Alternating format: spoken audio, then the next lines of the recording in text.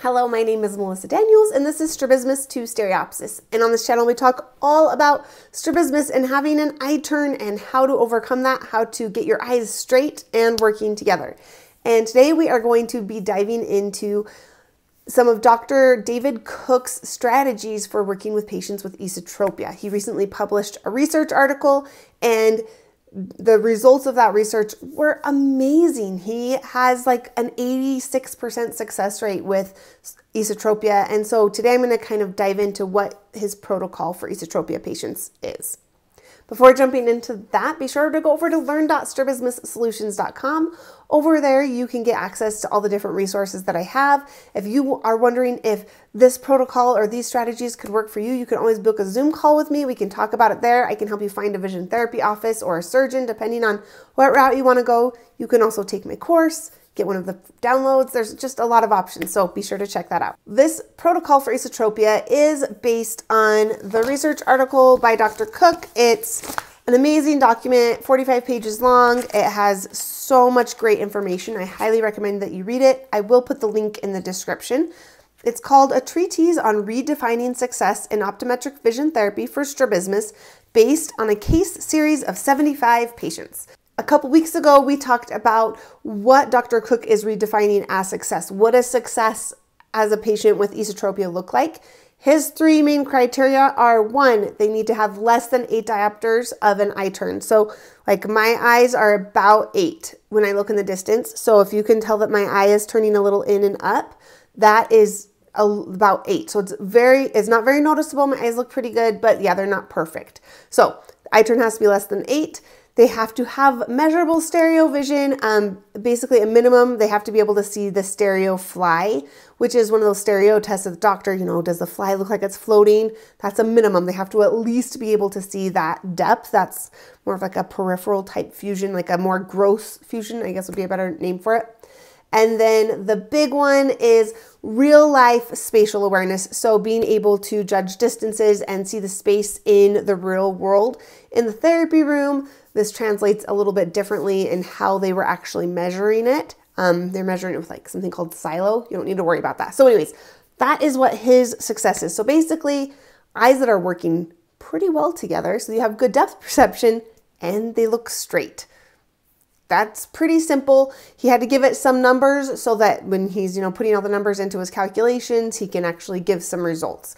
In this study, when we look at that criteria he had for success, the success rates were really great. He divided it into people with less than 15 diopters and people with more than 15 diopters of an eye turn.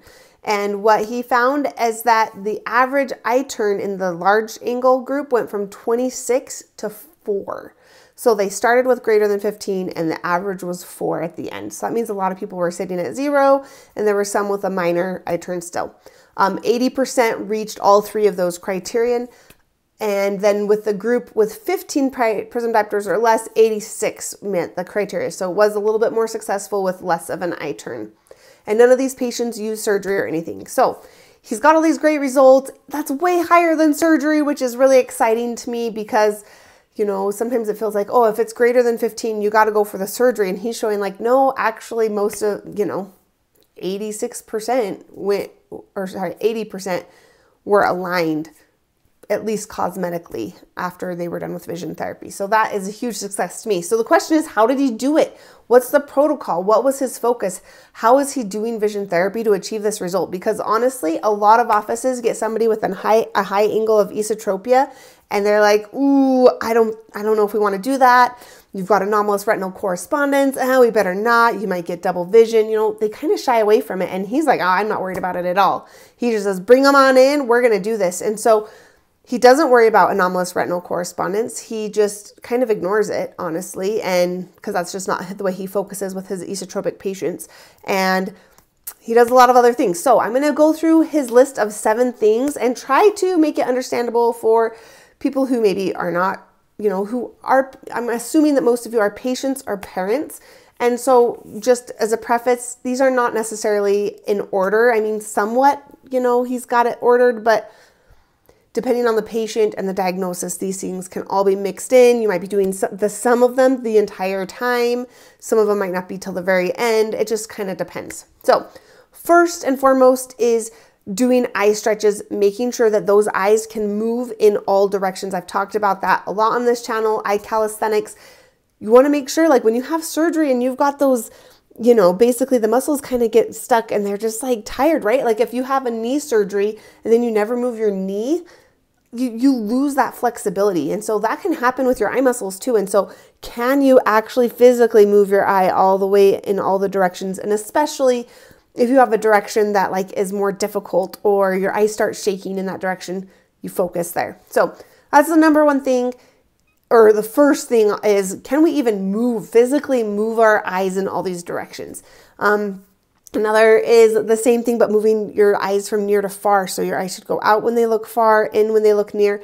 And so doing a lot with um, vergence ranges if the patient you know has vergence ranges and that just means like converging and diverging your eyes. Some a lot of patients, you know, half the time they can use both eyes together and the other half they can't. Um, so for those patients, it's improving those ranges for when their eyes are aligned. For patients who it's constant, they can never do that, I probably wouldn't start there. Okay, so that was number two. Number three is using double vision as a guide to help you with alignment. So if you've used the Brock string or seen my video on thumb, pinky, rock, um, it's kind of that concept. So if you just want to try it, if you're looking at your phone or wherever and you hold up your finger between me, or sorry, between you and your phone, you should see one phone and two fingers.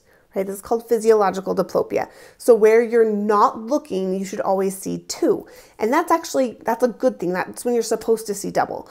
And so using that to kind of guide fusion can be really powerful to help help you be more aware of you know everything besides where you're looking. A lot of times we tend to hyper focus and bringing in that physiological diplopia that helps divide your awareness and helps you kind of take in more at one time. So that's number 3. Number 4, Dr. Cook talks a lot about something called the Zosa and I, you will hear about this in my mastering peripheral course as well.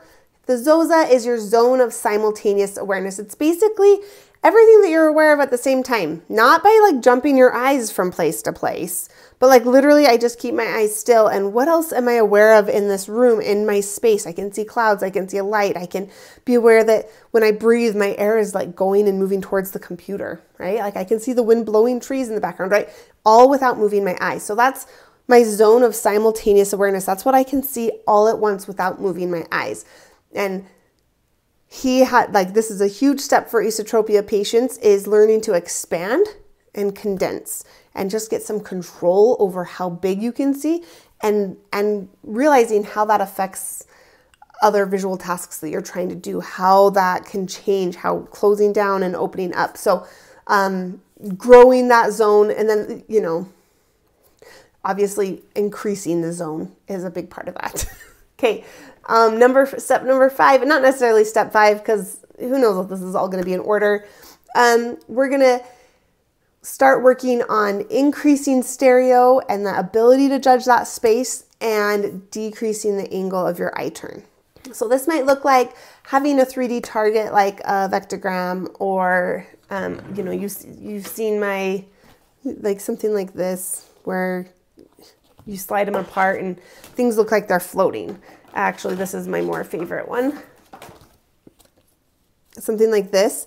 In the office, this is something they would like project on the wall. It'd be like ginormous and huge and it should look like it's floating. And so he isn't worried about like how far can we stretch it. It's more how much can you see that float and be aware of that space. And then you're moving back and forward and side to side and stand on one foot and recite the alphabet backwards. And can you do all these things and keep that float and have the awareness, your zosa open and and really having that space. As you do that, as you improve the peripheral fusion and get that space locked in, that's when your eyes will start becoming straight. And he's he's said that he's found that the peripheral fusion is as effective or more effective than the more traditional like strabismus type exercises that are done.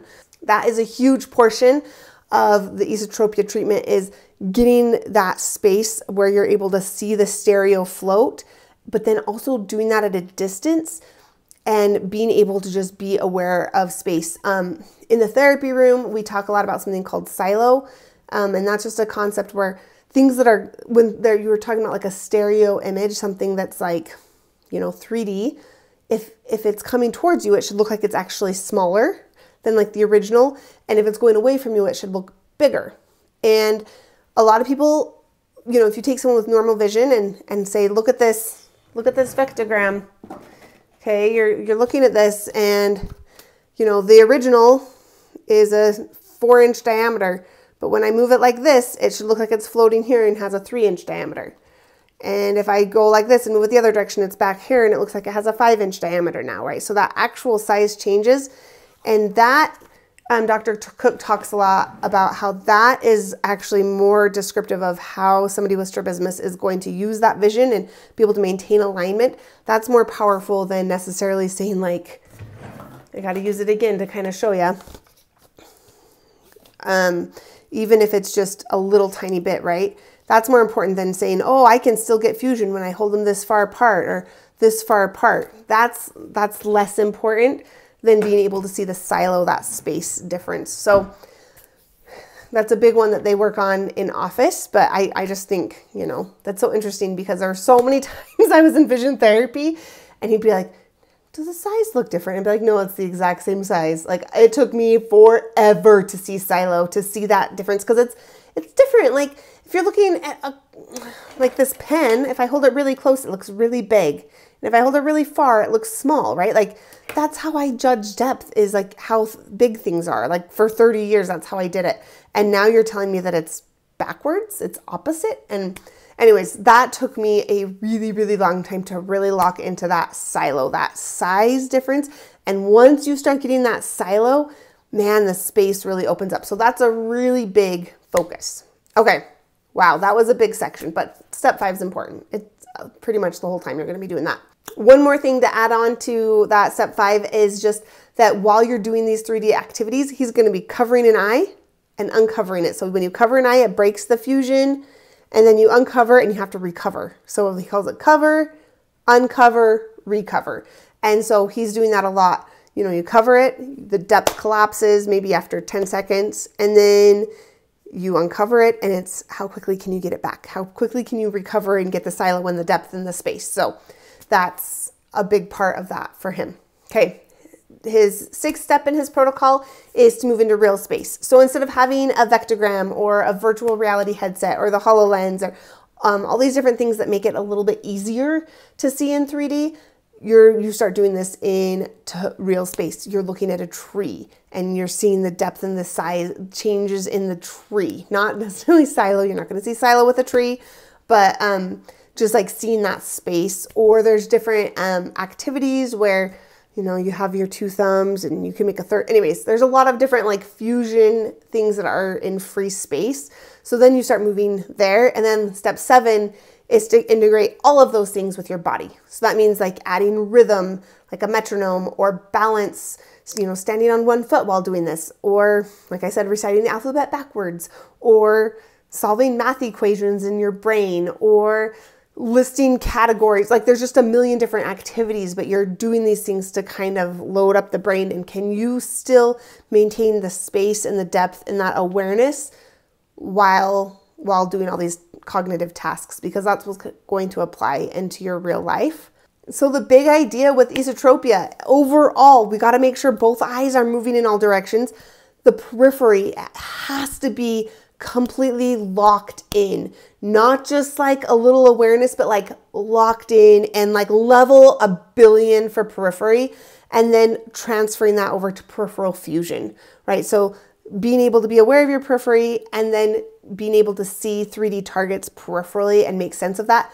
Those are the things that are going, going to give that success he's talking about. When you talk about a behavioral success and his numbers, that's straight eyes, basically, less than eight diopters, and being able to see that fusion and sorry, see that space and depth and you know the stereo fly, all of those good things. So that is his thing. And I think a lot of people are like, well, what about the red and green glasses and the bar readers? And what about, um, you know, like there's just a lot of little activities that you would think, well, what about this? Like I see this in all the videos. What about Tetris with the glasses?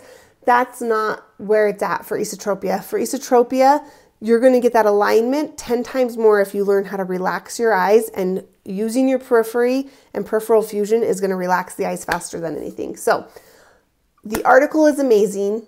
If you have more questions or want to know more how to apply this into your own vision therapy, uh, I know that as a patient, these principles really helped me to progress more quickly when I realized how important it was to relax and open up that space. That's where my Mastering Peripheral course comes from. It would probably be super beneficial for you if you are struggling with this or you have esotropia and you're having a struggle making progress in vision therapy right now. I think that could really help.